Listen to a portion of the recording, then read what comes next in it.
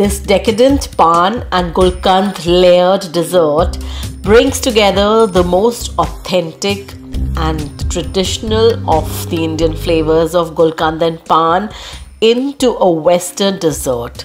So this is I would say one of the ultimate infusion desserts which you must try. It bursts with the flavors of paan and minty gulkand. So if you are a paan lover or a gulkand lover, this is a must for you.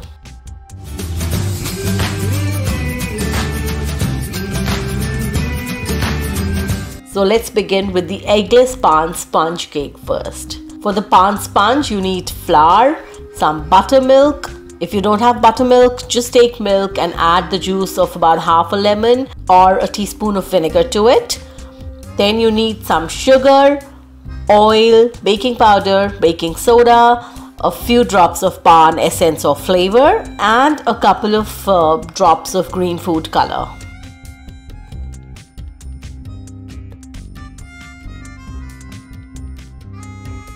Making this paan sponge is so super easy just take a big bowl.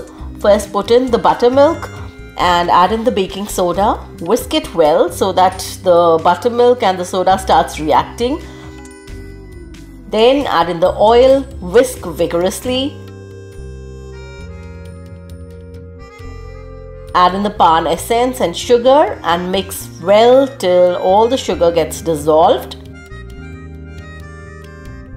Now sift in the flour and baking powder and mix it well till everything comes together into a beautiful batter like this.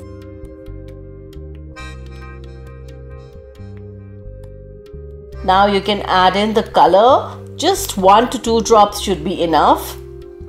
I added two. Mix it and your batter is ready. I used an 8x4 baking tray. This was non-stick and I just put a sheet of grease-proof paper in, in it. No greasing required if your uh, tray is non-stick. Then I poured in the batter.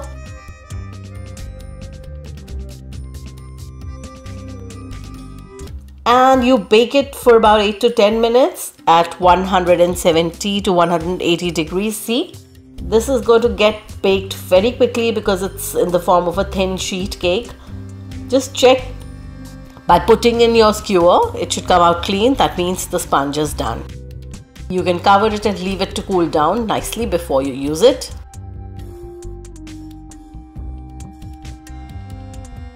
Let me cut a few strips of this and show you how spongy this cake has turned out. And look at the lovely green. For the frosting, I'm going to use some whipping cream, which I'm going to first uh, whip till I get stiff peaks and then I'm going to add a few drops of this beautiful pink color. I used um, Americolor Electric Pink. You can use whatever pink you like.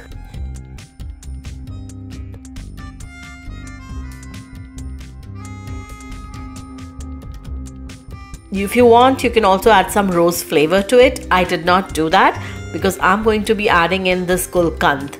Gulkand is a paste of fresh edible rose petals that have been cleaned and then they are cooked in a sugar syrup and that's how they are preserved and they're just a beautiful way to have your roses in uh, the edible form.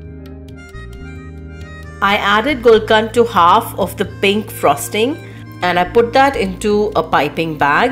A piping bag is not necessary it just makes it easy for me to put on the cream in the dessert and I had it available so I used the piping bag.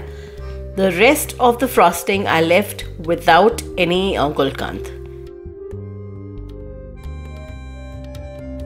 So now the paan sponge is ready and cooled. Our frosting is ready. Let's get to assembling it. For assembling, we will need other than the paan sponge and the frosting some soaking liquid now soaking liquid is something that makes your uh, cakes and your desserts a little more moist soft and flavorful so I used some milk in which I added a few drops of the paan essence a few drops of uh, green color and a little bit of sugar. This I'm going to use to soak the cake layers.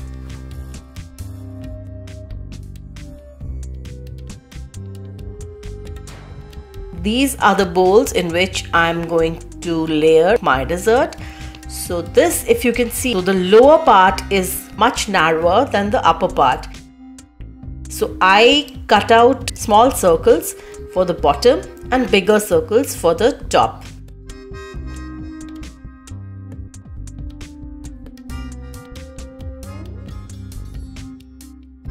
So take this little sponge, place it at the bottom of your bowl, soak it in this liquid and then I layered it with the frosting that had gulkand in it then goes on the other layer of the cake, the bigger one.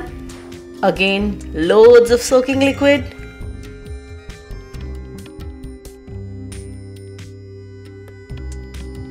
And another layer of the gulkand flavored uh, frosting.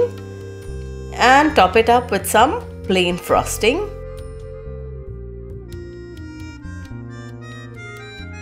Now garnish it with some little crumbled sponge and a few edible dried rose petals and your beautiful decadent paan and gulkand layered dessert is ready. I was able to get a good five individual servings and they were generous servings out of this recipe. Please do make this recipe and let me know how it turned out for you. So till next time, bye bye and enjoy.